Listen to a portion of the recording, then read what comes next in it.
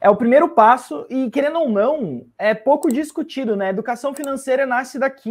Educação financeira nasce de um planejamento financeiro. É para isso que serve a educação financeira, para você ter uma noção de como organizar o seu dinheiro e para melhor organizar seu dinheiro, você tem um planejamento financeiro, tá? Que você consegue organizar e controlar todas as suas finanças. E o objetivo principal é tentar entender o que, que você está fazendo com o dinheiro que você está ganhando, né? Qual é a distribuição nos seus gastos? Qual é a distribuição no seu orçamento?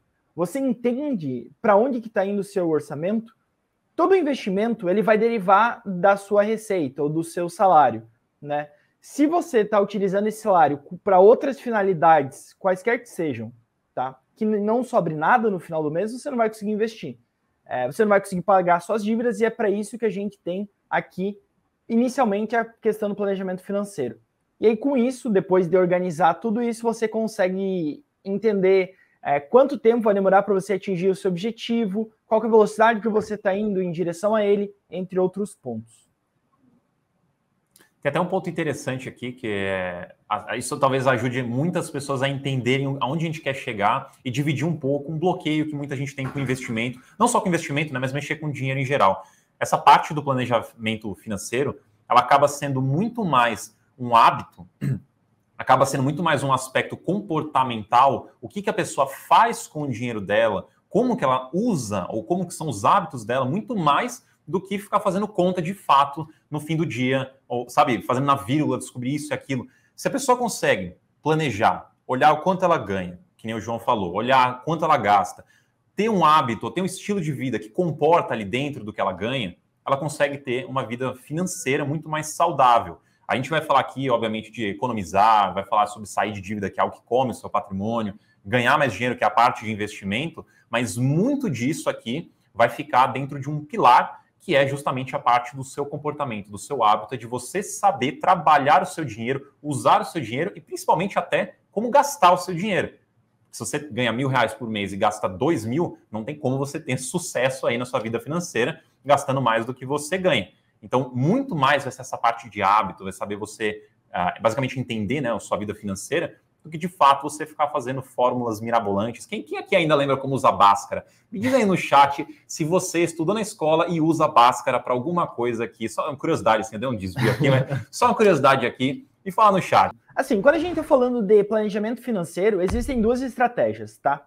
A primeira é você ganhar mais do que você gasta, e a segunda é você gastar menos do que você ganha. Pode parecer a mesma coisa, mas não é. A ideia, a mentalidade por trás de cada uma das ideias é diferente, tá? Você ganhar mais do que você gasta é você estabelecer um padrão e buscar ganhar muito mais ou mais do que aquele padrão, ou quanto é necessário para você aquele, manter aquele padrão, e com isso você ter uma sobra que você consegue investir.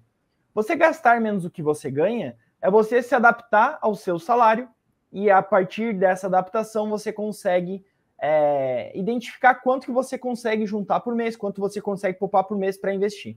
E aí, pra, como é que eu começo, né, João?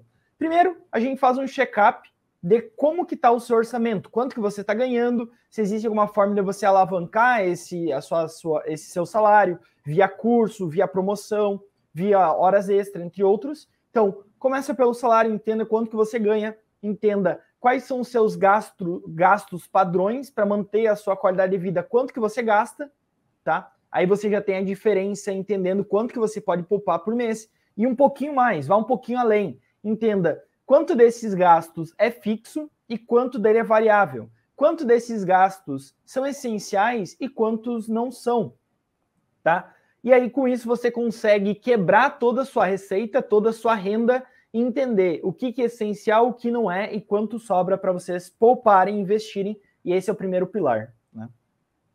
E tem uma frase bastante importante, né? O que não se mede não se controla. Então, se você não sabe quanto você ganha, se você não sabe quanto você gasta, você, na sua cabeça, vai achar que está tudo tranquilo. E as pessoas tendem a, a subestimar o quanto elas gastam e também tendem a subestimar ali, ou na verdade, sobreestimar o quanto elas ganham.